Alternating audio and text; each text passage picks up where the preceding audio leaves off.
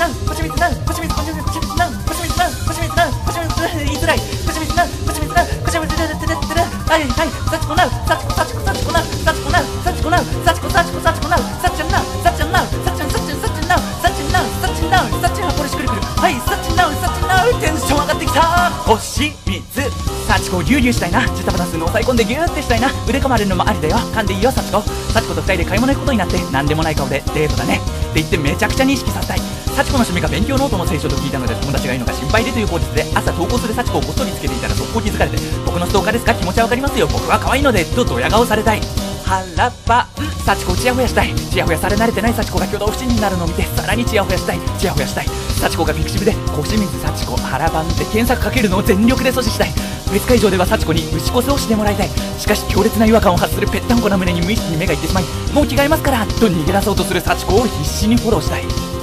もっばます朝起きるといきなり男の子になっていた幸子にどう接していいか分からずに食事中も言葉少ないなりフリフリのエプロンとか使わせてるのがなぜか申し訳なくなりたい。その後僕に浴場するなんて変態ですねとか罵られたい。腰水なう腰水なう腰水腰水腰水なう腰水なう腰水なう腰水で言いづらい。腰水なう言いづらいサッチンサッチンサッチンなうサッチンなう。サ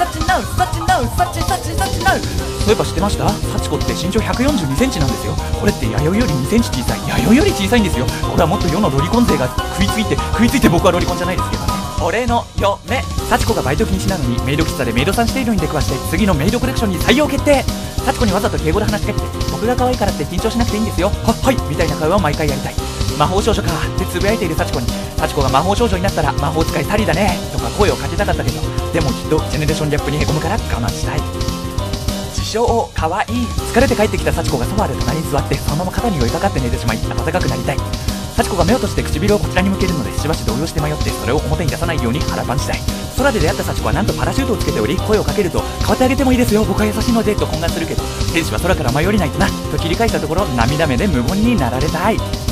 ちなみせずっと前から好きでしたってメールを幸子からもらいドキッとしたい。嘘つけと送るとバレました。でも僕はこんなメールを送るのプロデューサーさんくらいですよって帰ってきてドキドキしたともちろん嘘ですけどねと言って何も信じられなくなりたい。小清水なう小清水なう小清水小清水小清水なう小清水なう小清水なう小清水小清水小清水なう小清水なう小清水なう小清水小清水小清水なう小清水なう小清水なう小清水小清水なう